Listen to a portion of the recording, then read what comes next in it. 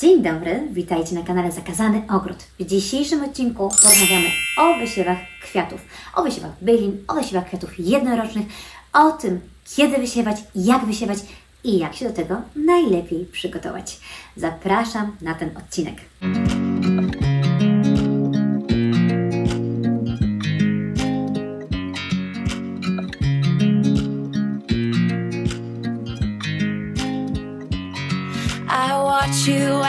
Drive. Do you know I'm looking?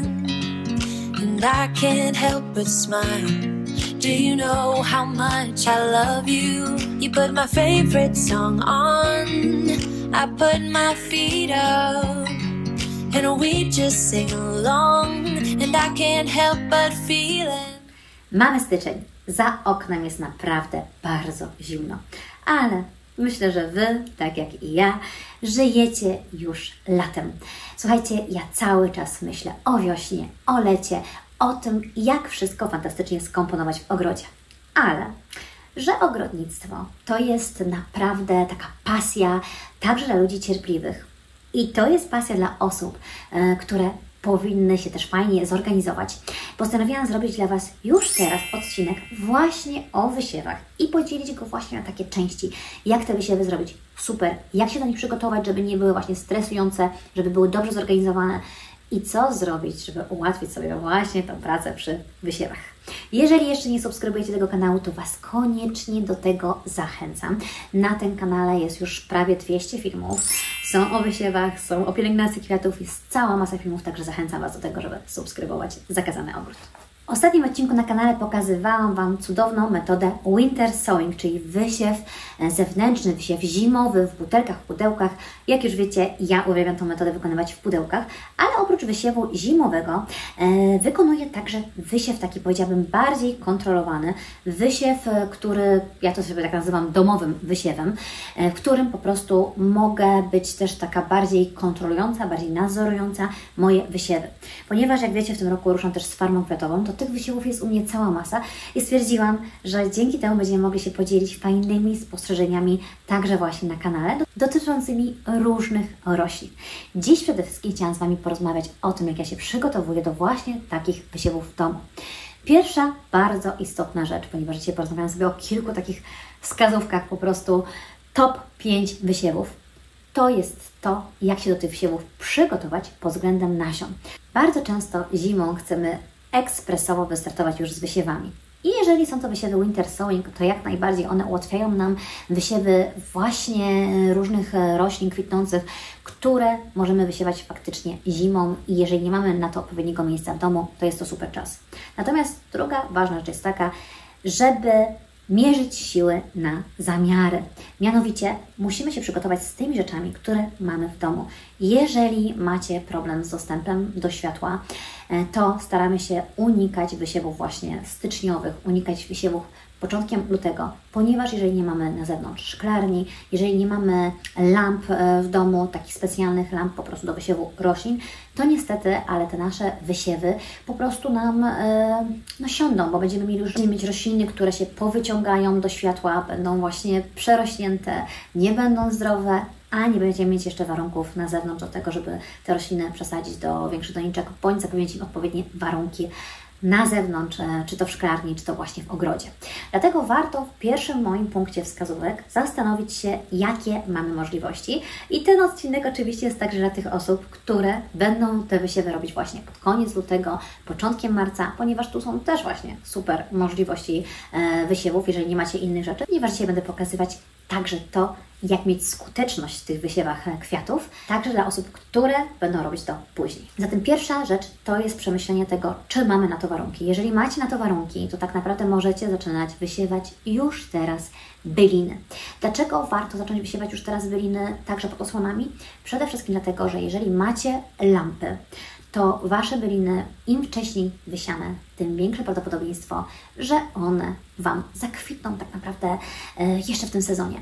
Bardzo dużo Waszych pytań pod filmami z Winter Sowingu dotyczy właśnie tego, czy moje byliny w tym samym sezonie kwitną. Słuchajcie, moje kwitną w tym samym sezonie, ale większość bylin właśnie, które ja wysadzam, to są byliny, które albo siałam wcześniej, po prostu w styczniu e, i robiłam to w domu przy lampach, albo to były byliny, które wysiewałam również w styczniu, ale metodą winter sowing i one zakwitały, mimo tego, że teoretycznie raczej powinny zakwitnąć bardziej w drugim roku, one zakwitały, natomiast to nie było w tym ich takim jakby czasie. Ja się zawsze śmiałam z tego, że e, te ostróżki, które już miałam w ogrodzie, one kwitły oczywiście na przykład dużo wcześniej, a te, które jeszcze dosiewałam, kwitły na przykład w drugiej połowie lata i to samo dotyczyło się łubinów, dotyczyło się innych wszystkich roślin, które wysiewałam metodą domową.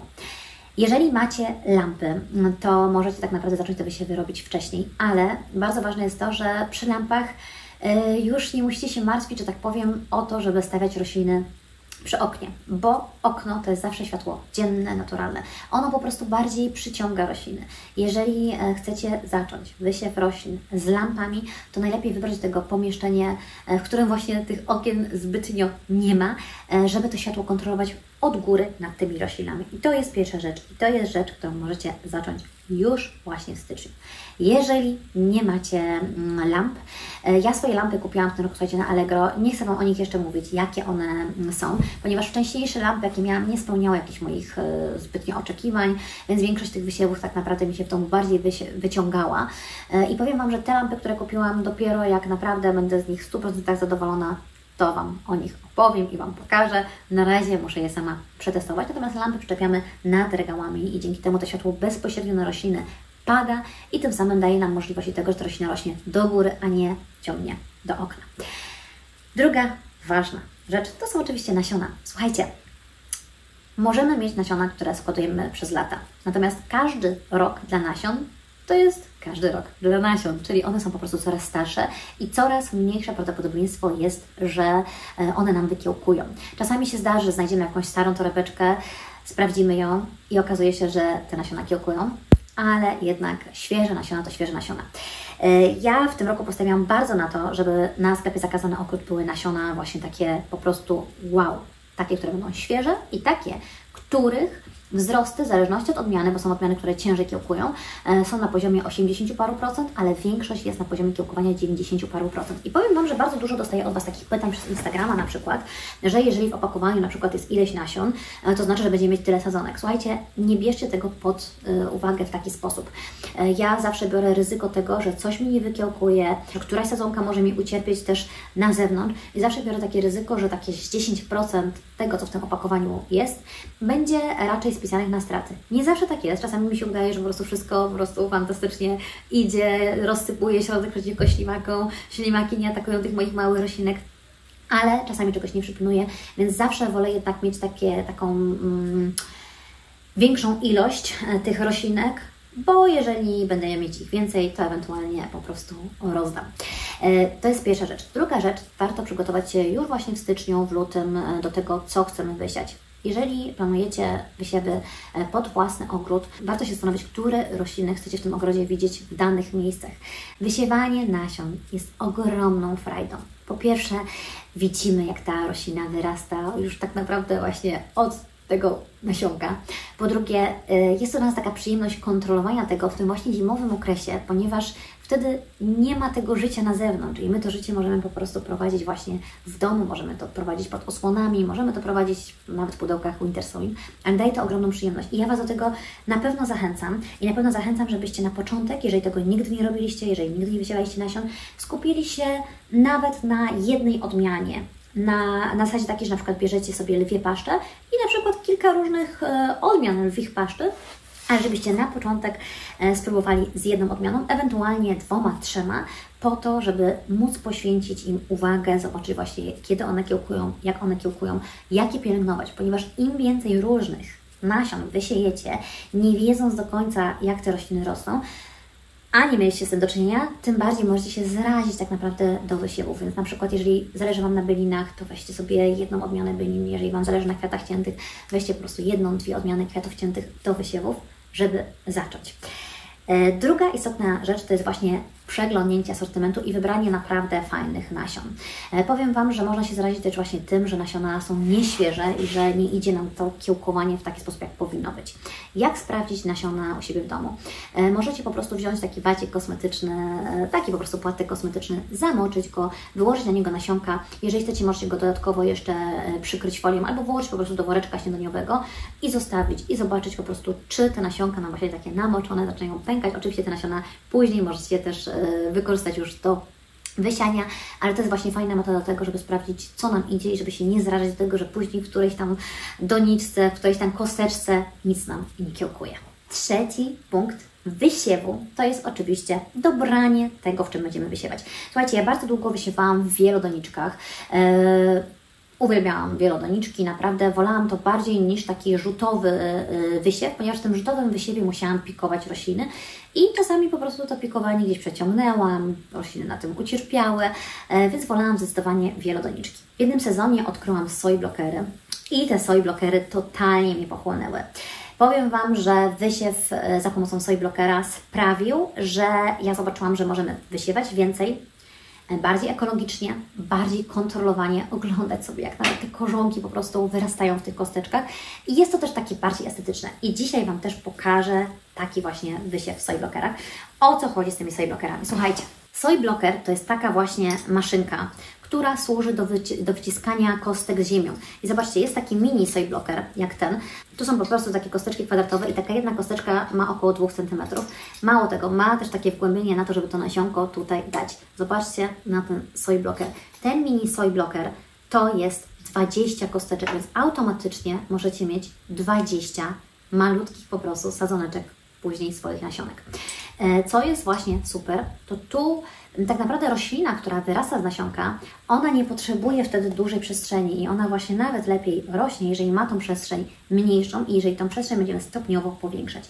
Więc takie małe kosteczki możecie później włożyć do e, doniczki plastikowej albo możecie zrobić inaczej. Dalej oszczędzając miejsce, dalej mieć ekologicznie e, wysiewane nasiona, po prostu całkowicie po prostu minimalizując e, ilość plastiku. Wykorzystać taki większy soy blocker, tu już są kosteczki 5 cm i taki soy blocker ma różne plastikowe wkłady do dołu i wśród tych wkładów są takie, że możecie od razu go wykorzystać do wysiewów, bądź takie, że później taką kosteczkę wkładacie właśnie w kolejne kosteczki i już macie e, gotową po prostu 5 cm faktycznie, fajną taką jakby powiedziałabym pseudo-doniczkę, ponieważ ja się śmieję, że to wygląda jak brownie. Kiedyś jak rozłożyłam to w domu, to e, mój mąż myślał, że ja po prostu upiekłam jakieś ciasto, e, ale faktycznie tej blokery są do tego fantastyczne. Co jest w tym ekstra? To jest to, że możemy dzięki temu mieć super złożone podłoże do nasion, ponieważ możemy też skomponować własne podłoże.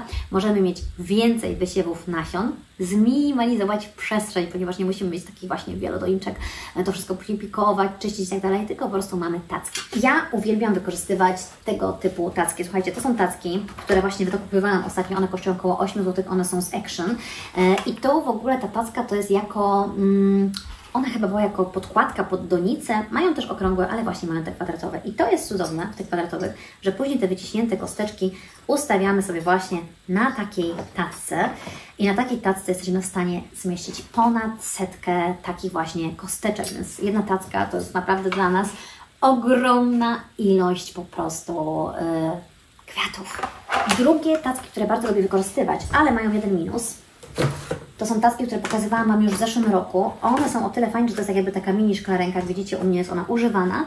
E, natomiast tu jest minus taki, że ona ma takie nierówne dno, więc e, te kosteczki troszeczkę wpadają w to dno. Można sobie oczywiście wyłożyć e, jakąś deseczką, czykolwiek innym to dno, ale to jest właśnie jedyny minus tej tacki. Jeżeli kupicie gdzieś takie, co mają właśnie bez tych wybrzuszeń, to naprawdę będzie to super, ponieważ ta mała szklarenka jest o tyle fajna, że możecie na nią od razu nałożyć po prostu pokrywę i tym samym e, już stworzyć takie właśnie fajne warunki i trzymać tą wilgoć. Jeżeli chodzi o takie tacki, w tym przypadku możemy po prostu śmiało wykorzystać folię spożywczą i po prostu nałożyć tutaj tą folię na te kosteczki. O soy blokerach Wam dzisiaj mówię tylko pokrótce, ponieważ będę robić Wam osobny odcinek dla osób, które chcą wysiewać właśnie za pomocą soy blokerów. Czwarty istotny punkt. Właśnie wysiewie nasion, wysiewie własnych roślin, to jest utrzymanie wilgotności. Bez tej wilgotności Wasze nasiona nie wykiełkują. Dlatego, jeżeli robicie to za pomocą soi bloków, to jest bardzo istotne, żeby trzymać wilgotność tych kosteczek. Przy takich soi blokarach, jeżeli mamy te kosteczki tutaj poukładane, wylewamy po prostu z konewki wodę na dno i te kosteczki same sobie wsiąkają fajnie tą wodę. W przypadku e, wielodoniczek też mamy tacki, też wylewamy sobie po prostu wodę. Możemy te wysiewy dodatkowo zraszać za pomocą e, spryskiwacza. Ja przeważnie mam taki mały spryskiwacz i po prostu zraszam sobie swoje wysiewy wodą. I na początku możecie także zastosować właśnie osłonę, w postaci na przykład takiej osłony, takiej mini szklarenki, możecie zastosować folię, ale wilgoć jest po prostu bardzo istotna. Punkt piąty. Udanych wysiewów. Rozmawialiśmy już o świetle, rozmawialiśmy o warunkach, ale jest jedna niesamowicie istotna rzecz. To jest ziemia. Słuchajcie, mi się wydawało, że ziemia jest taką mm, już po prostu yy, normalną po prostu rzeczą, o której wielokrotnie rozmawiamy, ale okazuje się, że bardzo często po prostu yy, wiele osób nie robiło jeszcze takich wysiewów swoich własnych i yy, nie wie, jaką ziemię stosować. Plus wiele osób też pyta o sprawdzone ziemię. Słuchajcie, ja zwykle kupowałam mieszanki ziemi do wysiewów. E, kupowałam różne mieszanki i byłam zadowolona z różnych mieszanek. Natomiast kilka sezonów temu odkryłam właśnie taką mieszankę, E, tu absolutnie nie jest to żadna reklama. Jest ona fantastyczna, bo to jest mieszanka z włóknem kokosowym. Ja z jednej firmy to kupuję, będę Wam na pewno dawać linka z jakiej firmy, ale nie musicie kupować z tej firmy, możecie kupić z inną, natomiast u mnie to włókno kokosowe fantastycznie się sprawdza, ponieważ to włókno kokosowe raz, że fajnie tak zrobi to podłoże takim naprawdę właśnie lekkim, sypkim, e, to jest też taka istotna rzecz, że mm, fajnie się trzyma przy tym wilgotność. I ja po prostu do tego podłoża tak naprawdę nie dodaję nic, później tylko swoje sadzonki e, podlewam i jest rewelacja. E, ale jeżeli chcecie bardziej zaszaleć, to możecie zrobić swoje kompozycje mm, podłoża. I tu wystarczy po prostu tak naprawdę mieć ziemię do kwiatów wtedy lub po prostu inną ziemię do wysiewu, która jest też bardziej taka lekka i przypuszczalna i jeszcze ją, że tak powiem, podkręcić. Możecie na przykład dodać cynamonu do ziemi i ten cynamon będzie powodował, że będzie mieć takie właściwości bakteriobójcze, odkażające, więc też świetnie zadba właśnie o to, żeby Wasze rośliny rosły zdrowe i naprawdę fajne. Możecie dodać na przykład perlitu. Słuchajcie, ja mam tutaj perlit. E, ten perit akurat mam z Nowa Minerals. E, mam od nich też oborniki, już Wam pokazywałam. Jeżeli chcecie sobie go zakupić, to koniecznie wpisujcie kod e, zakazany 15 w koszyku, bo będziecie mieć wtedy wszystko obniżone o 15%. I słuchajcie, ten perit jest taki naprawdę fajny, drobniutki, bo to jest 0,2 do 0,6 mm. Jest to po prostu bardzo lekka cząsteczka. Możecie albo nim po prostu po wierzchu Waszych rozsad później sypać, albo możecie właśnie, jeżeli macie zbytnio zbite e, podłoże, e, potrzebujecie bardziej lekkiego, to możecie też zmieszać właśnie ziemię z takim właśnie perlitem i to jest też super rzecz. Raczej unikamy stosowania ziemi e, z ogrodu. Jeżeli chcecie stosować kompost, ja też robiłam wysiew na kompoście, powiem Wam, że u mnie najfajniej się sprawdziło ewentualnie zmieszanie takiej właśnie ziemi do wysiewów z kompostem, Taki kompost musicie przesiać przez sito e, takie ogrodowe, po to, żeby właśnie nie było tam żadnych kawałeczków. Ja naprawdę jestem zadowolona z takiego kompostu na rabatach e, i nawet jak są drobne kawałeczki, to mi to zbytnio jakoś tam nie przeszkadza, nie przesiewam, nie jestem pod tym względem jakoś bardzo e, zbzikowana, bo i tak się to później fajnie, szybko rozkłada, ale jeżeli chodzi właśnie o wysiew nasion, to w przypadku kompostu on musi być przesiany, bo niestety te wszelkie różne na przykład kawałeczki drewna i tak dalej będą utrudniały tym nasionkom po prostu kiełkowanie. Więc wtedy musi mieć przesiane i tak samo to się tyczy oczywiście soi blokerów. Jeżeli używacie różnych podłoży do soi blokerów, to podłoże musi być właśnie czyste, takie właśnie sypkie, takie, żeby nie było różnych rzeczy, które mogłyby utrudniać kiełkowanie Waszym nasionkom. Jak widzicie, do wysiewu własnych nasion wcale nie potrzeba mieć nie wiadomo czego. E, oczywiście, że tego typu akcesoria to są akcesoria, które na przykład trzeba sobie dokupić, ale to są akcesoria, które są na lata. E, namawiam Was do tego, dlatego że nie bez powodu je wprowadziłam e, w sklepie. Wprowadziłam w sklepie, dlatego że się nimi absolutnie oczarowałam, a tylko takie rzeczy wprowadzam w sklepie zakazany ogród. Natomiast jeżeli e, jesteście wierni wielodoniczką, to jak najbardziej wystarczą Wam wielodoniczki. E, tu w przypadku takiego plastiku, no to, to też jest kwestia tego, że my taki plastik wykorzystujemy przez lata i tak naprawdę do soi blokerów też już takie podkładki wykorzystujemy mm, przez lata e, i to jest bardzo fajne, że jednak troszeczkę eliminujemy tego plastiku e, w przyrodzie. Natomiast wysiew nasion jest naprawdę ogromną frajdą i powiem Wam, że dla mnie takie dni właśnie szare, kiedy ja widzę, jak te roślinki zaczynają pięknie kiełkować, jak one fajnie wzrastają, to jest naprawdę coś cudownego.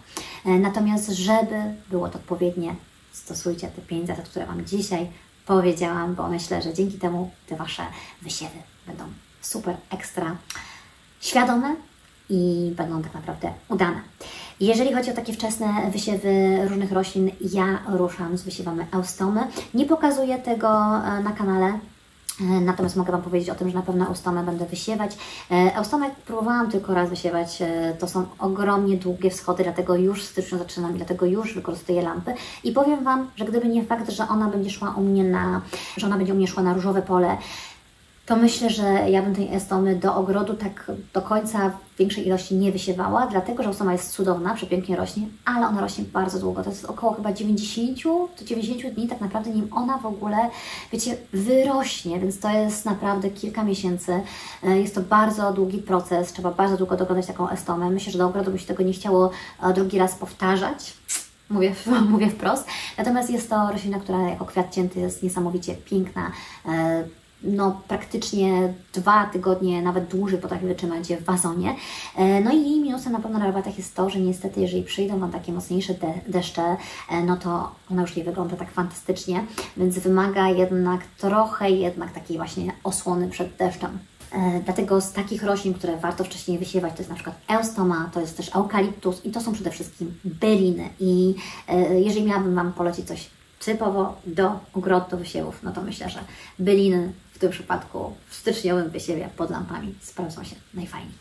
Dziękuję Wam za dziś. Dajcie znać koniecznie, co Wy planujecie wysiewać, jaką metodą będziecie wysiewać, co wybraliście w tym roku e, dla siebie. No i cóż, czy Wy już żyjecie wiosną?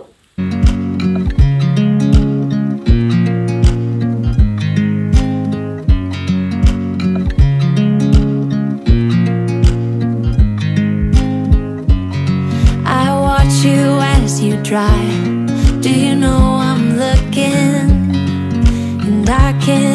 But smile. Do you know how much I love you? You put my favorite song on. I put my feet up.